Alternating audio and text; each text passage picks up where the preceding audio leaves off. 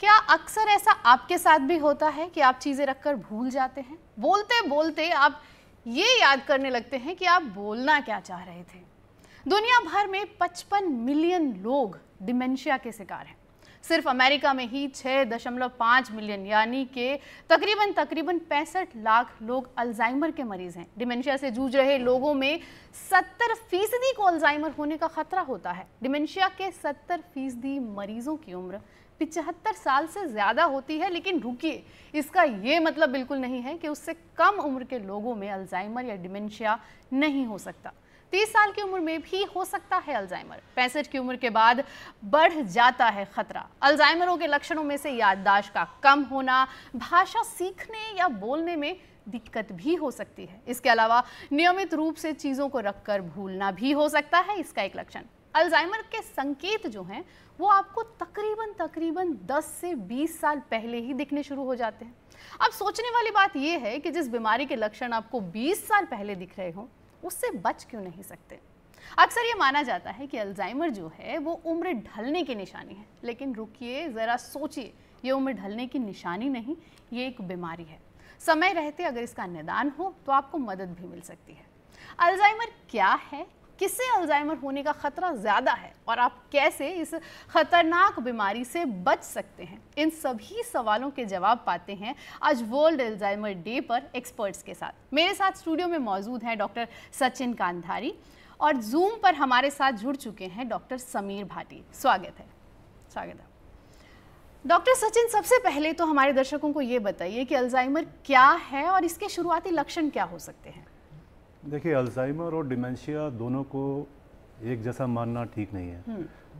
हालाँकि अल्जाइमर में डिमेंशिया होता है जिसको भूलना या हम्म। बात भूल जाना चीज़ें भूल जाना बट डिमेंशिया और कारणों से भी होता है। बट अल्जाइमर एक मेनली जेनेटिक बीमारी से ज़्यादा लिंक है रादर देन लाइफ स्टाइल से whereas dementia life style dependent है। अल्जाइमर का जैसे आपने बताया अर्ली ऑनसेट होता है जो वो तीन से पाँच परसेंट लोगों में है जिसको बोलते हैं कि पैंसठ साल से कम उम्र में। और जिसको एल बोलते हैं late onset that is for people जिनको पैंसठ साल की उम्र के बाद होता है। That is ninety five percent people इसको पहले पकड़ पाना जो है, इसको चार स्टेज में बांटेंगे इसके बीमारी के स्टेजेस को। पहला है जिसको बोलते हैं माइल्ड कॉग्निटिव इम्पेयरमेंट एम जिसका मतलब है कि समझ बूझ में हल्का हल्का कन्फ्यूज़न जिसको ब्रेन फॉक बोलते हैं कि नंबर भूल गए, नाम भूल गए, या थोड़ा कन्फ्यूज़न रह रहा है। जैसे आजकल बहुत कॉमनली हम सबको रूटीन लाइफ में भी रहता है।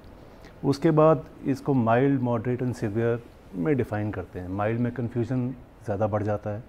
मॉडरेट में कन्फ्यूज़न के साथ साथ भूलना, चीज़ें रख के भूल जाना। एंड सिवियर में you have psychiatric symptom also जैसे एंगजाइटी एकदम साइकोजेनिक बिहेवियर जैसे कि आपे से बाहर हो जाना, पहचान ना पाना बिल्कुल भी।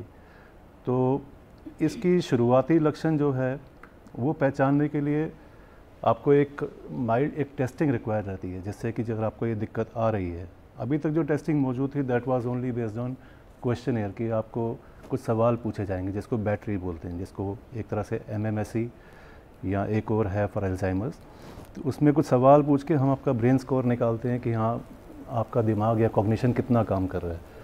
थर्टी में से अगर ट्वेंटी फोर का स्कोर रहे तो उसको हम मानते हैं कि इसमें कॉग्निशन इम्पेयर्ड है। और उसके हिसाब से बीमारी की स्टेज डिफाइन की जाती है। लेकिन ये टेस्टिंग जो है बहुत इसमें it's never sure hundred percent की कितना हम कर पा रहे हैं। इसलिए now we have some new A I based test technology based जिस something call D B F S जिसका मतलब डिजिटल ब्रेन फंक्शनल स्क्रीनिंग जिसमें कंप्यूटर पर टेस्ट करके 15 से 20 मिनट में आप उसका स्कोर निकाल सकते हैं डॉक्टर के द्वारा कि आपके दिमाग के फ़ंक्शंस कैसे काम कर रहे हैं। क्या आपको माइल्ड कॉग्निटिव इम्पेयरमेंट है कि नहीं है? अगर ये सब चीज़ें मालूम पड़ सकती हैं तो आप शुरुआत में ही उसकी केयर कर सकते हैं।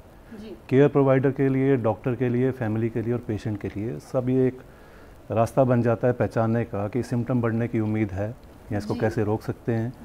और टाइमली टेस्ट करने से आप उसकी प्रोग्रेस या वो रुक रहा है कि नहीं रुक रहा है वो भी चेक कर सकते हैं। चेक कर सकते हैं जी। हमारे साथ जुड़ चुके हैं डॉक्टर समीर भाटी। डॉक्टर समीर हमें ये बताएँ कि अगर समय रहते आप लक्षणों को पहचान जाते हैं कि कौन से वो लक्षण हैं या आप उस दिशा में आगे बढ़ रहे हैं कि अल्जाइमर या डिमेंशिया का खतरा आपको हो सकता है तो कौन से ऐसे शुरुआती टेस्ट हैं या किस तरह से आप डायग्नोज कर सकते हैं और ताकि आप अपने खतरे को कुछ कम कर सकें? बिल्कुल बिल्कुल। देखिए, जैसा अभी आपने शुरुआती रिपोर्ट के अंदर बताया कि ये होना शुरू 20 साल पहले से हो जाता है। मतलब ये प्रोग्रेसिव बहुत धीरे धीरे से ये बीमारी एंटर करती है और आपको पता भी नहीं लगता है कि कब ये बीमारी सैन मारना शुरू कर देती है और कई बार इसके सिम्टम्स हम पहचान भी नहीं पाते क्योंकि कई लोगों को तो आमतौर पे वैसे ही एक आदत भी होती है कई चीज़ों को भूलने की। तो उन चीज़ों को थोड़ा डिफरेंशिएट करना ज़रूरी है। अभी बिल्कुल जैसे डॉक्टर साहब ने भी ठीक तरीके से बताया है कि थोड़ा लोग एक बार ये जान लें कि भाई डिमेंशिया और अल्जाइमर डिफरेंट है। मतलब डिमेंशिया शब्द, एक पूरा अम्ब्रेला उसमें कई और भी कारण होते हैं उसके डिमेंशिया के बड़े मल्टीपल रीजन होते हैं।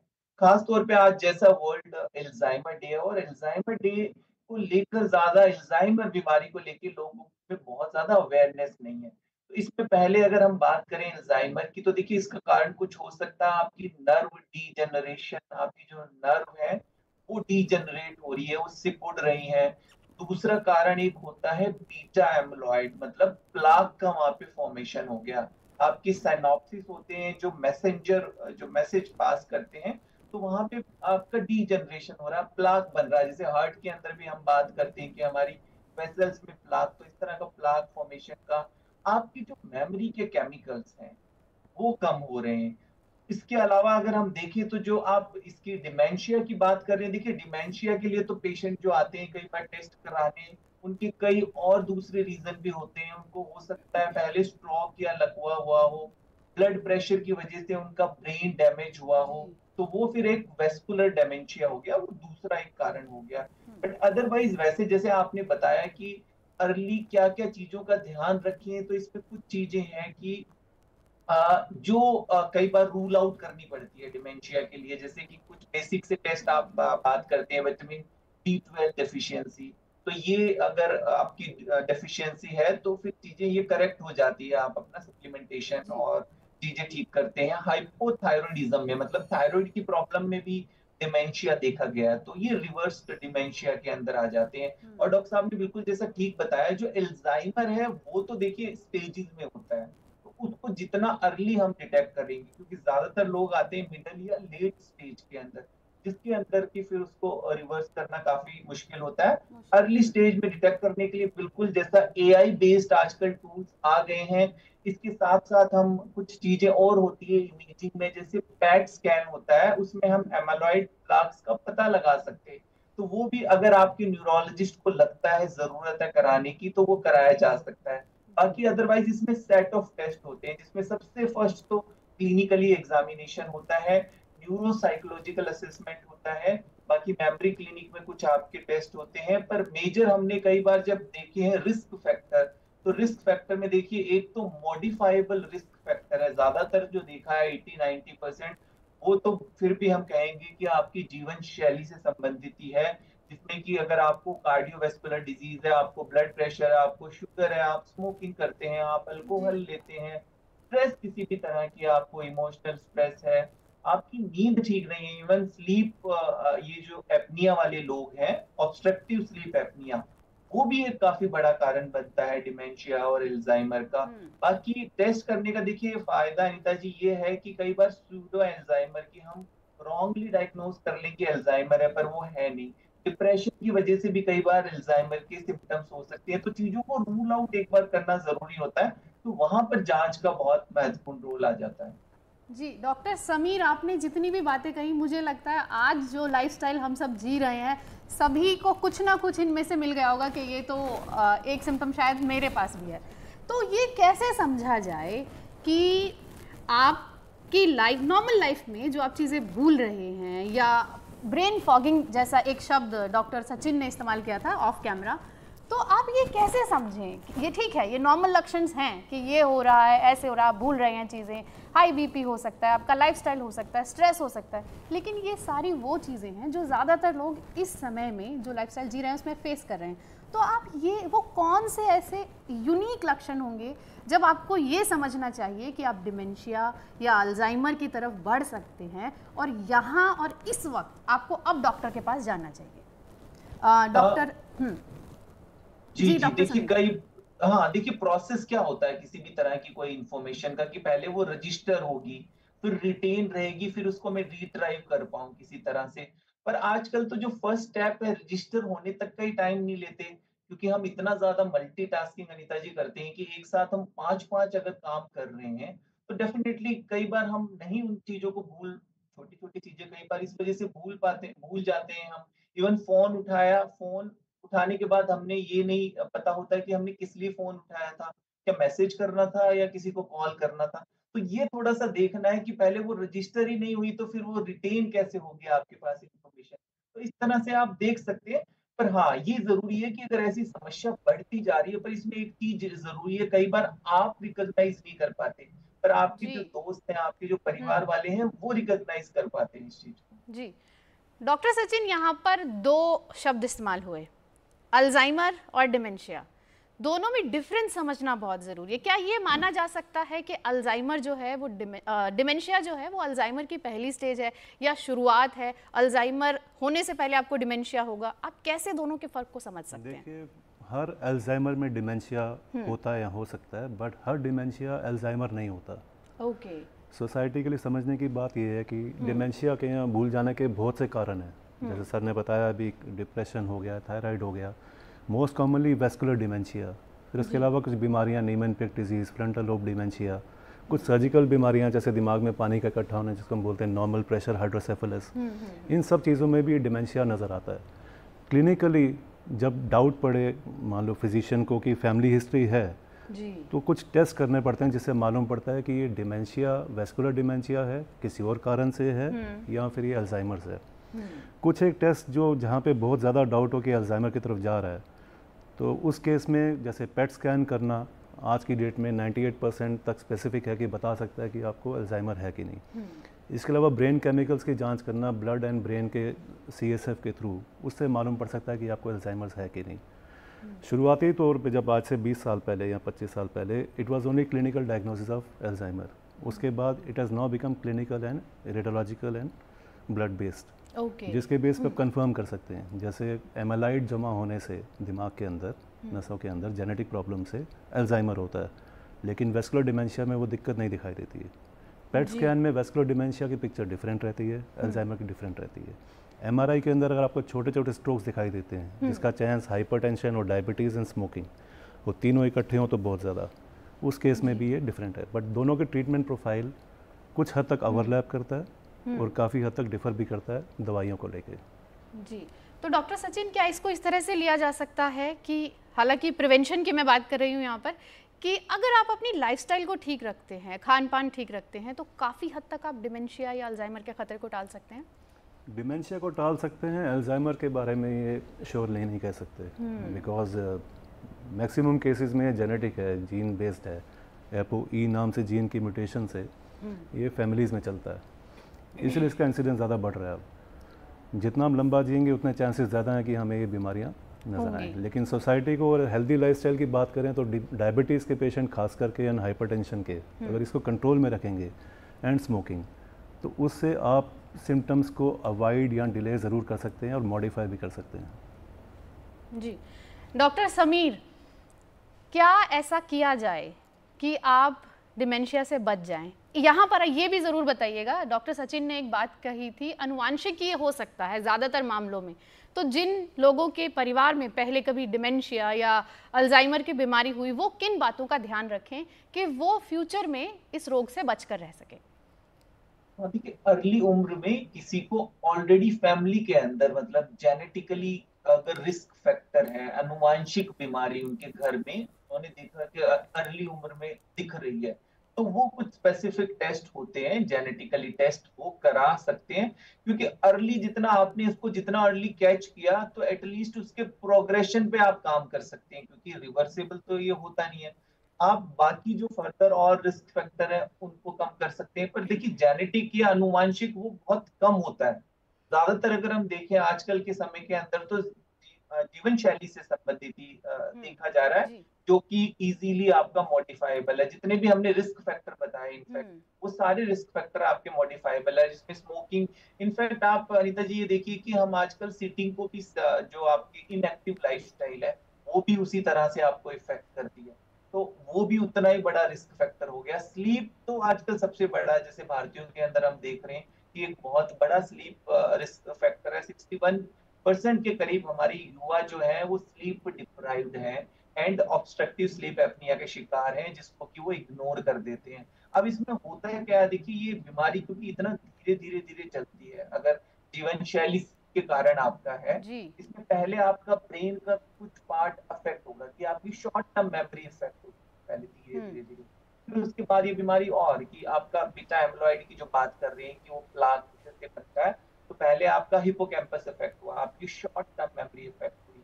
आप जो रिसेंट इंसिडेंट हुए, वो भूल रहे हैं फिर उसके बाद थोड़ा आपका और बीमारी का प्रोग्रेशन आगे बढ़ा। फिर आप और भूलने लग गए। तो यहाँ पे केयर गिवर्स का बहुत रोल है फैमिली का बहुत बड़ा रोल है, ताकि अगर बीमारी इस तरह के लक्षण नज़र आ रहे हैं तो फिर वो समय से ट्रीटमेंट मैनेजमेंट का ध्यान रखें डॉक्टर का फॉलो अप रेगुलर रखें अगर बीच में टेस्टिंग की रिक्वायर्ड है उन सब हम्म, चीज़ों का हम्म।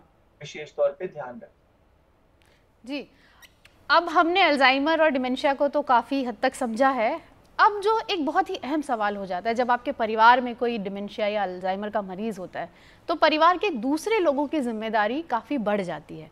यहाँ पर एक बड़ा सवाल ये आता है कि अल्जाइमर के रोगी का आप ख्याल कैसे रखें?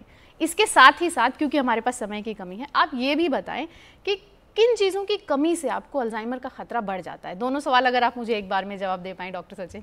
देखिए अल्जाइमर का खतरा किसी चीज़ की कमी पे डिपेंडेंट नहीं है। अच्छा। डिमेंशिया का ज़रूर हम कह सकते हैं लेकिन अब जो अगर हम ट्रीटमेंट की बात करें फैमिली हम्म। का रोल इसमें सिर्फ़ इतना हो सकता है कि अर्ली आइडेंटिफाई हो गया अगर हम्म। तो रिस्क फैक्टर मॉडिफिकेशन जिसको बोलते हैं लाइफ स्टाइल मॉडिफिकेशन। अगर तो वो वेस्कुलर डिमेंशिया या कोई और बीमारी है तो उसके हिसाब से अगर अल्जाइमर है तो अर्ली मेडिकल इंटरवेंशन और कुछ नए ट्रीटमेंट ऑप्शंस जो अब निकल कर आ रहे हैं। अभी तक अल्जाइमर का कोई कॉन्क्रीट इलाज नहीं है जिसको इसे जड़ से ख़त्म कर सकें बट इसके मैनेजमेंट अब पहले से बेहतर हो चुकी है। हम्म। इसमें कुछ समझना पड़ेगा कि brain is like a computer computer में जो सिग्नल रिले होता है that is by electrical stimulation electrical current flow same way brain में ये करंट भी नर्वस सिस्टम में करंट की तरह चलता है और न्यूरोकेमिकल से करंट बनता है। हम्म। अभी तक जो दवाइयाँ हैं वो ब्रेन के इन केमिकल्स को कंट्रोल करने के लिए काम करती हैं बट ये बीमारी को जड़ से ख़त्म नहीं करती हैं खास करके एल्जाइमर में। वेस्कुलर डिमेंशिया में खून का दौरा बढ़ाया जाए दिमाग में वेस्कुलर डिमेंशिया का मतलब है खून की कमी से दिमाग के अंदर एक कमी आना, कमी आना। उसके फंक्शनिंग में। जैसे ऑब्स्ट्रक्टिव स्लीप एपनिया में भी ये है कि इंसान को ऑक्सीजन पूरी नहीं मिलती और दिमाग की फंक्शनिंग कम हो जाती है। तो अब जो नए मेथड निकल कर आ रहे हैं उसमें नॉन सर्जिकल और सर्जिकल दोनों मेथड्स हैं। Along with new medical treatment जिसमें कि दवाइयाँ और new treatment like genetic therapy and immunotherapy वो अभी तक स्टिल डेवलपमेंट स्टेज में है पेशेंट को अवेलेबल नहीं है। बट जो कुछ चीज़ें पिछले छः से आठ साल में उभर कर आई हैं उनमें से एक है डीप ब्रेन स्टिमुलेशन जैसे पार्किंसन या डिस्टोनिया सब रोग के लिए हम्म। किया जाता है। तो दिमाग में दो वायर डाल के और पेस मेकर लगा के उस एरिया की एक्टिविटी को रेगुलेट कर सकते हैं। जी। डीप ब्रेन स्टिमुलेशन को उम्मीद है कि अगले छः से आठ महीने में एफ़ अप्रूवल फॉर अल्जाइमर्स मिल जाएगा। हम्म। इसके अलावा नॉन इन्वेजिव मेथड के अंदर brain map guided brain stimulation by magnetic stimulation that is one method इसके अलावा हाई फ्रिक्वेंसी टीएमएस और एक इंफ्रारेड लेज़र ये दो तीन मेथड हैं जिससे कि ब्रेन के अंदर मैपिंग करके जो ब्रेन का सर्किट ठीक से काम नहीं कर रहा है उसको एक्सटर्नली स्टिमुलेट करके सिम्टम्स को इम्प्रूव कर सकते हैं। जी। डॉक्टर सचिन आपने एक बात कही कि ब्रेन तक ब्लड फ्लो का पूरी तरह से ब्लड फ्लो अच्छी तरह अच्छा रहे ये बहुत ज़रूरी है कि आप डिमेंशिया या अल्जाइमर से काफ़ी हद तक बच सकते हैं या खुद को थोड़ा खतरा कम कर सकते हैं। Yeah. तो योग में ऐसे बहुत सारे योगासन हैं जैसे कि शीर्षासन हो गया और वो। क्या योग भी इसमें किसी तरह से अगर आप नियमित रूप से योगा करते हैं तो वो आपको मदद कर सकता है? योगा करने से आपका स्ट्रेस लेवल कंट्रोल में रहता है हम्म। आपका सर्कुलेशन बढ़ता है उसका फ़ायदा तो मिलेगा ही मिलेगा जी इसके अलावा अगर हम बात करें डायबिटिक्स की या ब्लड प्रेशर वालों की उनके अंदर खून की नसों में ऐसी हम्म। तब्दीली आ जाती है कि वो ब्लड फ्लो दिमाग को पहुँचता नहीं है उस केस में कोई भी ऐसा ट्रीटमेंट जैसे योगा हम्म। जो रेगुलरली आपका बीपी रेगुलेट करने में मदद करे या फिर आपको एक हेल्दी लाइफस्टाइल मेंटेन करे या स्ट्रेस फ्री रहने में मदद करे वो आपको ज़रूर मदद करेगा इसके साथ साथ नियमित दवाई exercise yoga that is something that everybody can do can do ji. Doctor Sameer आपने एक बात की थी जेनेटिकल टेस्टिंग की। उसको थोड़ा विस्तार में बताएँ कि वो किस तरह से मददगार हो सकती है। बिल्कुल देखिए किसी के परिवार के अंदर जैसे हमने और भी बीमारियों में बात करते हैं हार्ट डिज़ीज़ को भी ले लीजिए कैंसर को भी की जेनेटिकली होती है या और कई तरह की ब्लड आपके डिसऑर्डर होते हैं, जो जेनेटिक ऐसे अल्जाइमर भी आपका जेनेटिक अनुवांशिक हो सकता है।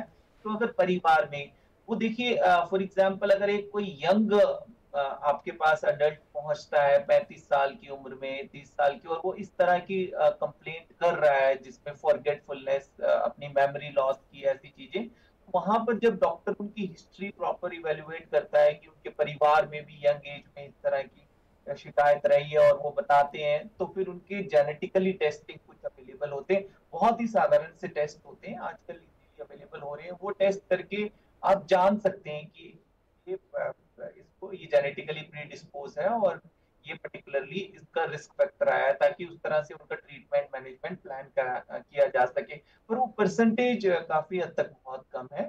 मेजर जैसा हम बात कर रहे हैं कि काफ़ी हद तक इसके जो रिस्क फैक्टर है वो प्रिवेंटेबल इवन मैं कहूँगा 80 टू 90 परसेंट जो कॉज है वो इसके प्रिवेंटेबल जो रिस्क फैक्टर है मॉडिफाइबल रिस्क फैक्टर है।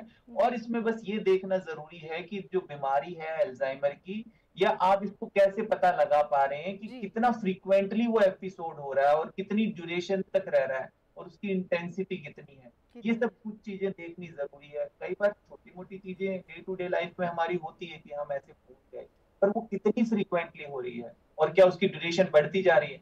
तो ऐसे इन चीज़ों से आप रूल आउट कर सकते हैं थोड़ा कि ये प्रॉब्लम बढ़ रही है ताकि आप उसको अर्ली उसमें इंटरवेंशन कर सकें और राइट डॉक्टर के पास पहुँच सके। न्यूरोलॉजिस्ट के पास इसका ट्रीटमेंट अवेलेबल होता है तो सही डॉक्टर के पास पहुँचना ज़रूरी है। जी।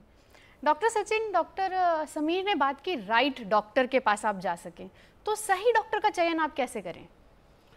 देखिए ज़ाहिर सी बात है कि ये दिमाग से रिलेटेड प्रॉब्लम है। तो इनिशियली जब भी ऐसा कोई चीज़ लगे कि ये ठीक बिहेवियर नहीं है या बार बार चीज़ें भूली जा रही हैं तो इनिशियली हम्म। एक न्यूरोलॉजिस्ट से या अपने फिजिशियन से कंसल्ट करना चाहिए। फिजिशियन एक हद तक बता सकते हैं कि किस कारण से हो रहा है। हम्म। और उसके बाद अगर रिक्वायरमेंट हो वो आपको रेफ़र करेंगे न्यूरोलॉजिस्ट के पास। न्यूरोलॉजिस्ट को उसके साथ में एक मल्टी डिसिप्लिनरी टीम रहना चाहिए including psychiatrist psychologist neurophysiotherapist and neurologist जो लोग मिल के इसका काम करते हैं। हम्म।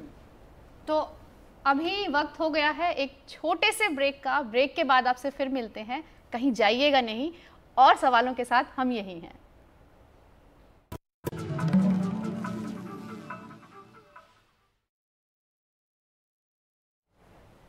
ब्रेक के बाद आपका स्वागत है। मेरे साथ स्टूडियो में मौजूद हैं डॉक्टर सचिन कांधारी। हम बात कर रहे हैं अल्जाइमर पर और एक आखिरी सवाल जल्दी से ले लेते हैं डॉक्टर सचिन से। डॉक्टर अल्जाइमर के खतरे को कम कैसे किया जा सकता है? देखिए डिमेंशिया के खतरे की बात करें अगर तो अर्ली हम्म। आइडेंटिफिकेशन कोई भी लक्षण जब आ रहे हैं तो जल्द से जल्द उसको पहचाना जाए पकड़ा जाए और इलाज शुरू किया जाए। जो मॉडिफाइबल फैक्टर हैं उसके हिसाब से sugar control blood pressure control smoking बंद करना हम्म। और कुछ दवाइयों का शुरुआत करना या फिर जैसे ब्रेन स्टिमुलेशन या ऐसे मेथड के बारे में सोच पाना। जल्दी पकड़ने पे आप बीमारी को डिले भी कर सकते हैं और इससे बच भी सकते हैं। लेकिन अगर इसको इग्नोर किया जाएगा तो डेफिनेटली एक स्टेज के बाद इसमें इम्प्रूवमेंट आने के चांसेस घट जाते हैं। हो जाएँगे। जी शुक्रिया डॉक्टर तो ऐसे ही और इन्फॉर्मेशन से भरे शोज़ के लिए आप एनडीटीवी से जुड़े रहें। आज हमने पूरी कोशिश की कि अल्जाइमर और डिमेंशिया से जुड़ी हर समस्या और हर सवाल का जवाब हम आपको दें। अगले शो में जल्दी ही मैं अनीता शर्मा आपसे फिर मिलूँगी। तब तक अपना ख्याल रखें, सेहतमंद रहें, हँसते मुस्कुराते रहें और हाँ एनडीटीवी इंडिया देखते रहें।